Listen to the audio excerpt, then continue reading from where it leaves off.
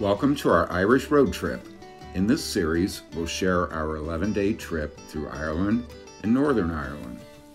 Come with us as we enjoy stunning scenery, visit historic sites, and check out the local food, the drink, the music, and culture.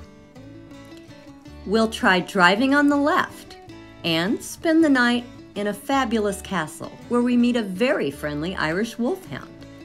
Chris will play golf at his first links course, while me, I hike up a mountain in County Donegal. We'll visit not just the must see spots on everyone's bucket list, but also a few lesser known places.